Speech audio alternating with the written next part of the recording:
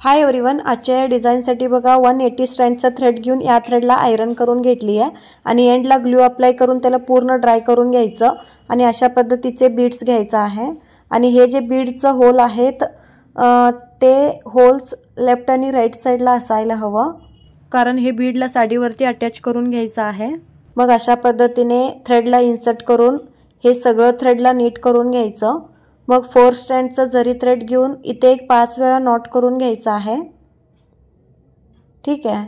पाच वेळा नॉट झाल्यानंतर बॅक साईडला अशा प्रकारे वरून खाली निडल इन्सर्ट करून जरीला खाली ओढून घ्यायचं मग तुमच्या आवडीप्रमाणे बेबी कुचीचं लेंथ अशा पद्धतीने होल्ड करून त्याला कट करून घ्यायचं आणि बेबी कुचीचं लेंथ इक्वल नसेल वाटलं तर अशा पद्धतीने होल्ड करून त्याला इक्वल करून घ्यायचं. तर आता हे साडीवरती अटॅच करून घेण्यासाठी तुमचं पल्लू कोणतं कलरचं आहे त्या कलरचं फोर स्टँडचं कॉटन थ्रेड घेऊन एंडला नॉट करून घ्यायचं. इथे साडीवरती अटॅच करून घ्यायचं. तर बघा बीडच्या आधी फर्स्ट होलमधून अशा प्रकारे निडल पास करून मिडलमध्ये एक मीडियम साईजचं बीड इन्सर्ट करून घ्यायचं. मग तुम्हाला ह्या होलमधून अशा पद्धतीने निडल पास करून इथे साईडला वरून खाली निडल इन्सर्ट करून थ्रेडला खाली ओढून घ्यायचं.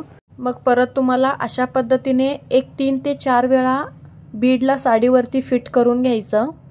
म्हणजे ते साडीवरती अगदी व्यवस्थितपणे फिट होतं. ठीक आहे.